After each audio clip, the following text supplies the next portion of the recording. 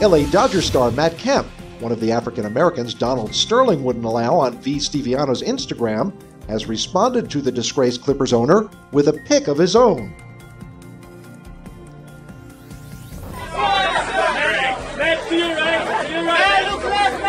Kemp went to Instagram and posted an old photo of himself with Magic Johnson, along with the following message Be confident in yourself, your beliefs, and your ability to rise above it all. Most importantly, align yourself with those you admire and those who see greatness in you. Hashtag We Are One.